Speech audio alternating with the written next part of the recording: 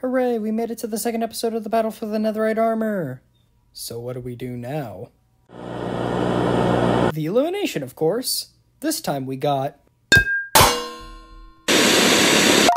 1,260 votes. If you win, you get a Borgor.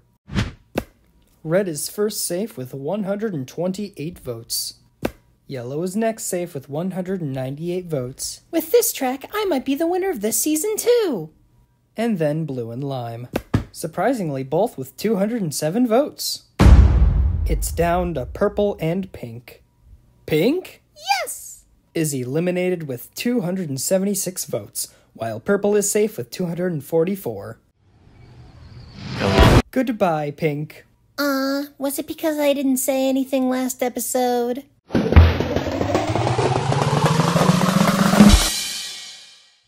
Dang, what a way to go.